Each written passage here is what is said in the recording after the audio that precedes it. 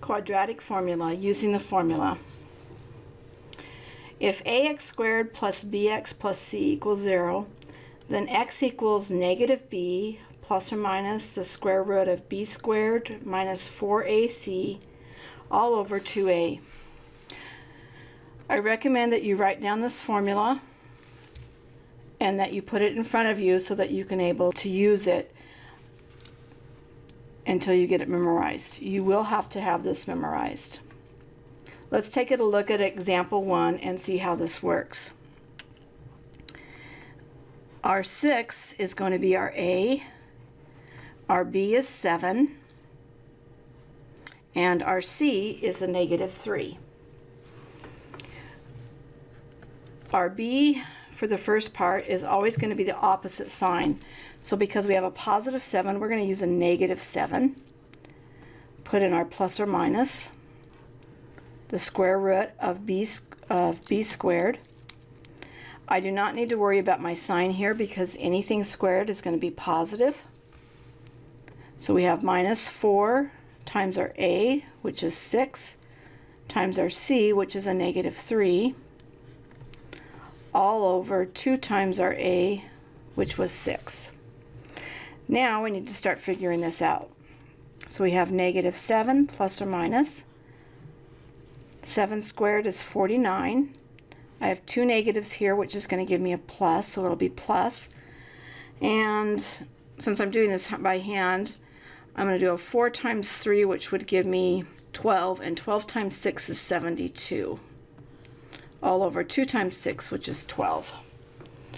Well, 49 and 72. Well, that's going to give me 11, 7, so 12, 121. So I get a negative 7 plus or minus the square root of 121 all over 12. Now this is if you got your all your squares memorized, you would recognize that 121 is a perfect square and that the square root of that then would be negative 7 plus or minus 11 all over 12. I'm going to rewrite this so I have negative 7 plus 11 over 12 and negative 7 minus 11 over 12. Okay, negative 7 plus 11 is going to give me 4 twelfths. The negative 7 minus 11 will give me negative 18 twelfths. I'm going to reduce those. So x is going to be one third, and a negative, let's see, both of those are divisible by 6, so 3 halves.